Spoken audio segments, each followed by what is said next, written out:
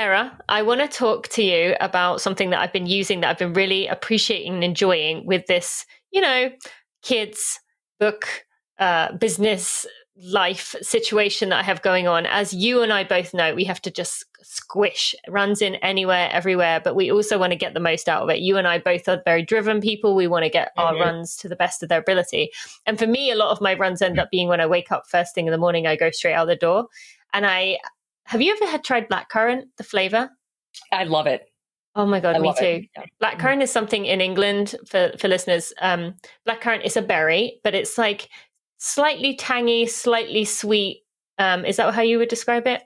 I, uh, yeah, it's kind of like pomegranate esque. It's really delicious. Yeah. Yes, that's true. Yeah. So um, I came across this product called 2before, which is blackcurrant flavored. It's gonna mm. it increases your endurance. It helps you with inflammation, supports your immunity, but most importantly, it's comes in like a it comes in a caffeine and a non-caffeine version so i can like get this energy boost before my runs in the morning or especially i'm, I'm sure you've had many of these these afternoon squish-ins when you're already kind mm-hmm. of a bit mm-hmm. cooked but you know you have to get a run in and i've really been loving it and i love love love love love love that it is black currant flavor because that just makes it so easy to drink it's enjoyable and um I know it's like helping me, even though it's a pre workout. So I want to um, have you try it out because I think you're going to love it too, especially if you please. love that taste of blackcurrant. Mm-hmm. Um, but I want to tell listeners if you go to two before the number two, 2before.com and use code Tina, you can get yourself 30% off. I definitely encourage you to check it out. If you are stretched for time, squeezing your runs in, busy person who still wants to get the most out of your training, this is such a great product to have. So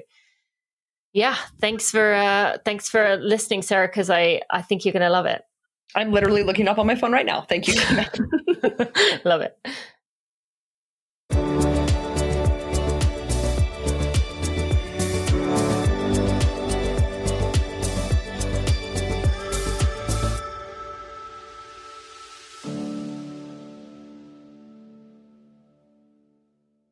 All right, welcome back to our For Real-Isodes. Tina, are you ready for today's question? Ooh, yes, let's go ahead.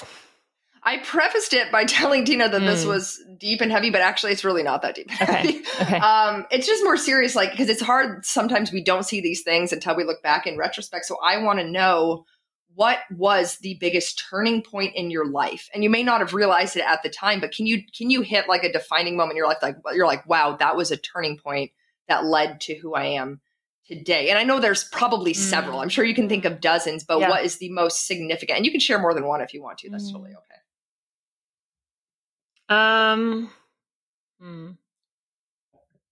I would say, yeah, there's definitely been a few, but uh, what comes to mind is the moment I my visa was denied in California, uh, de- denied to go to California before I came to the US, like to go to Michigan to Ferris State, because I think before that moment, I had been planning on going to California. I was going to um, follow this path, although it wasn't really defined. Now I look back on it, I, it was never going to work.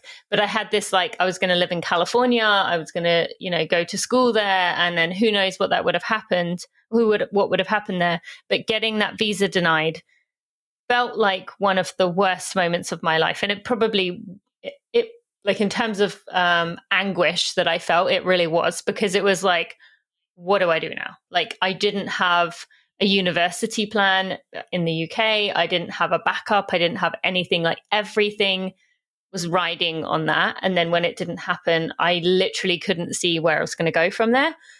Um, but going to then, you know, that moment led to me giving this opportunity in Michigan a chance. And then, as um, you know, I ended up meeting my husband mm-hmm. on the first day I arrived in, in Michigan. So like that was definitely I would say the the turning point in terms of the direction it set me in and it also you know uh, it led to me meeting you it led to my running career having uh the getting back to actually being a focus for me because even that year in California and that time I was going to spend in California I wasn't really committed I wasn't taking it seriously I was just kind of coasting so yeah I'd say that was the the real moment that comes to mind for me. You know, it's crazy. Like someday when they are, you know, 17, 18, 19 years old, Bailey or Chloe may come to you in tears, like, what do I do? Like, this mm. huge thing just fell oh, out yeah. beneath my feet. And you can tell them that story because mm. so many times in life, what we think is like the end of the world disaster thing that happened we look back and we're like i would never change that in a million years because mm-hmm. it led to where you are today and sure if if your visa hadn't been denied you gone there you would have you know a completely different life and i'm sure yep. you'd be happy in that life yep. but right now with the family you have with the husband you have with the career that you've had you you wouldn't change it yeah right no no no absolutely not and it's so interesting because i also think about my mum who was the person who you know met me after I found out that decision. She was in London with me and having to like not only see your daughter in that state, but then not be able to offer any my mom is a fix it person so especially with her but like not you like she couldn't say well maybe we'll do this like there was no path forward in any direction from what we could see um, and so that I think about that with her and how hard that had to have been that she couldn't say, yeah, we'll, we'll, well, maybe we'll do this instead because there was no yeah. offer to give. So yeah. What about you? Man, that's crazy. Um, I had, I had to give this one some thought while you were talking. I was just like, because I don't, I don't think I have anything that's that was that um, pivotal in that it, it was like it was okay. There was sink or swim, like you had no way out. Mm. But for me, after I think I was 25, I was 25 and I just run my first um, Boston Marathon. Now, leading into that race, um, I had been planning to do the Olympic trials that year, but I was injured. So I skipped the trials and I ran Boston instead. And because there were so few Americans, um, I ended Wait, up. You were 20, this was the Neely race? Yes. You were 25? 25, yeah. So that seems like I know I was 25. such a baby, but I was. I was 25. Wow. Yeah. Okay. Go um, on. Keep going. and so, uh, so I ran that race, and I was. Uh, I think I missed the top 10 by like five seconds or something like yeah. that, and I was second American. But because I had skipped the trials, I'd been training since like November. I've never been so burnt out in my life. And when that race was over, um, I went to Pete, my coach at the time, and I was like, I need to stop. I don't know for how long, but I need to not mm. run. And he, mm-hmm. he, you know, credit to him, he gave me this permission. He said, listen, don't run until you miss it. And then once you miss it, take another week and then we'll talk. So for this time, it ended up being um, almost a month, like three and a half yeah, weeks off. That. Yeah, so I didn't want to think about running. I did certainly didn't want to go out and run. So I was living in Kentucky. I was living with you, Tina, in mm-hmm. Kentucky. Well, no, I wasn't with you. I was in a different mm-hmm. town, but yeah. I was living in Kentucky, and this was the time that I thought, okay, what am I going to do at this time? I didn't have kids. I had all day, every day. I didn't know when I was going to run again. So I thought, what if I try to write a book? Um, because I'd heard that stat of like, of the people who try to write a book, like who start, 97% of those people don't finish their book. And so I thought, I just want to see if I can. Um, and so over the course of 10 days, I wrote 60,000 words. Now, mm-hmm. for those, for people who are a writer, like that's a lot. That's a lot of work. That is dawn till dusk writing every single day for 10 days in a row. And a novel officially becomes a novel at 50,000 words. So technically I wrote a novel. Um, it was not publishable. It was not good. But in that moment, I proved to myself, okay, I can do it. I can do this thing. I can do it and finish it. Um, and I did try very briefly. I tried to take that book out like to agents and publishers, and I had literally zero interest in it.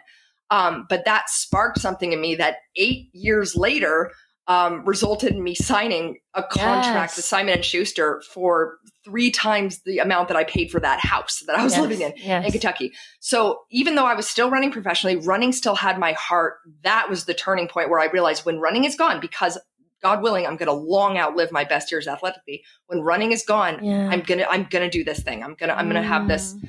um, writing to, to fall That's back on. So yeah, that was that is definitely yeah. a, that moment. I would say a turning point for sure. I remember you showing me when you were in that period, like the the the office you had made for yourself, and you had made the like wardrobe into a little nook reading nook yeah yeah and um and you had this desk and you were so proud to like show me the desk and it was like a wooden yeah a very like intricate well it's made the desk i'm sitting at right now. oh now. you are still amazing yeah. Um, and I remember you would, yeah, you were just like talking about writing, and yeah, I remember you showing me that. Um, yeah. So that's that's amazing that that was like, yeah, I didn't put that together, but that's so true. Uh, yeah. And you know, not having the running gave you that opportunity, and that yes. is such a good point in itself. That when we have an injury or we have something like a burnout or something that takes us away from our sport, it does give us the space to do other things, to find other parts of us, to utilize those things that our running brains are too tired to access. So yeah. And you want to know what's so so crazy about that is like I think about so Nicholas Sparks, who of course wrote The Notebook and a bazillion books that have been turned into movies, and he's a billionaire.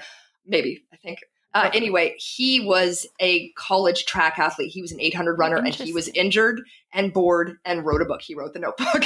Wow. um, so that I think that that situation that you talked about of like, yeah, okay, you're losing some part because of injury or burnout or whatever, you're losing this passion, but their life has so life is a smorgasbord people. Yes. like pick and choose. It's a buffet and there's going to be something else for you. There's something else for you you know? i love that so much. Thank you so much for sharing that. That is just such an important um thing to remember and keep in mind and and yeah to trust your journey right? So sarah that was so good. Anyone else listening we would love to hear your answers. Um, be sure to get those to us. Thank you sarah and i'll see you next time